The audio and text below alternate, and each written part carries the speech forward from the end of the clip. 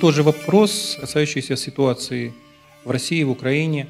То есть многие слушатели э, обеспокоены, возможно ли эти же события э, в России. Да, Дамоклов меч висит над Русью. Русь для меня это целостное понятие. Я не делю там Украина, Россия, там Белоруссия. Для меня славянская земля – Русь. А вообще Сириус, наша система, это наша древневедическая Русь, которая проецировалась на пространство Великой Тартарии.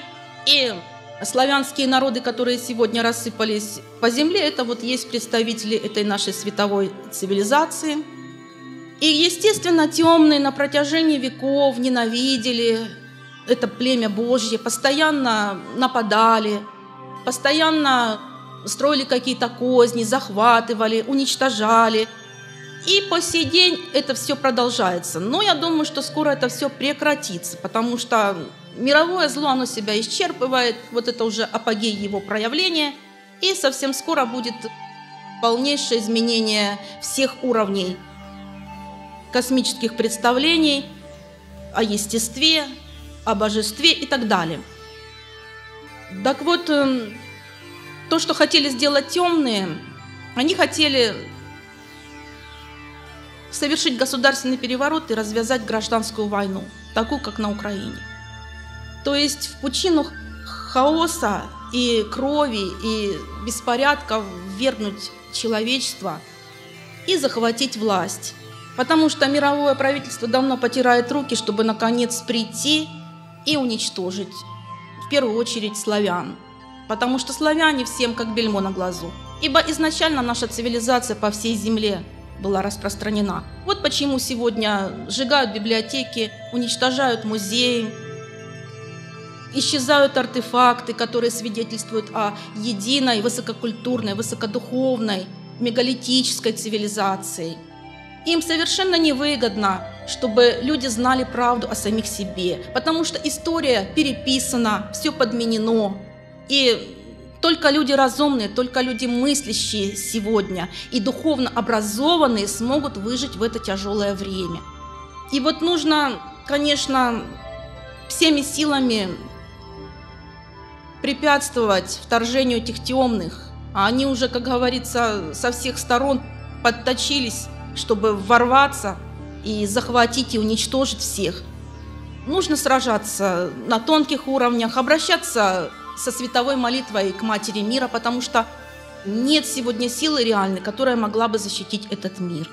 Сила Сына Отца, она уже все, она не работает. Под этой силой работают темные структуры.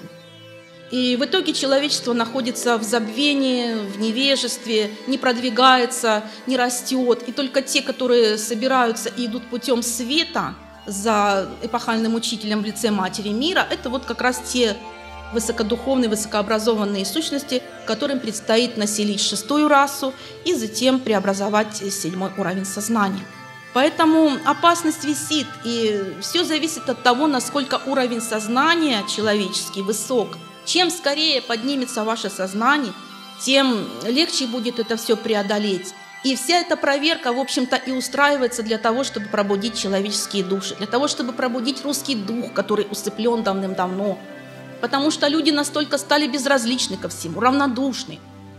Даже если взять империю Российскую, Советский Союз, да, это была империя, когда был целый монолит.